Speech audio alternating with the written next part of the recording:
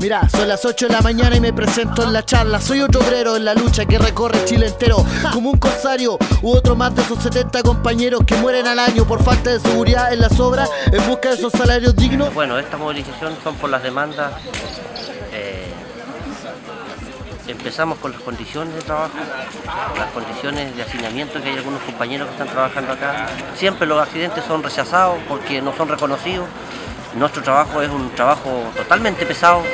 Eh, cuando se hay un accidente nunca se, se hace, un, se hace un, un estudio del puesto de trabajo. Eh, la verdad que siempre nuestros compañeros están con eh, lesiones musculoesqueléticas y realmente nunca son nunca son reconocidos en la mutual. También se está usando en la subcontratación. Eh, hemos visto que nosotros, nuestros puestos de trabajo han sido vulnerados por los contratistas. Pedimos un reajuste de un, de un 5%.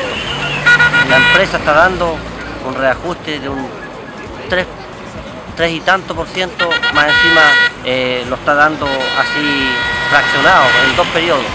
Y, igual los incentivos y los bonos, igual por eso es lo que estamos peleando nosotros. Eh, está muy por debajo de lo que de lo que nosotros esperamos, es lo que nosotros queremos llevarle a nuestras familias.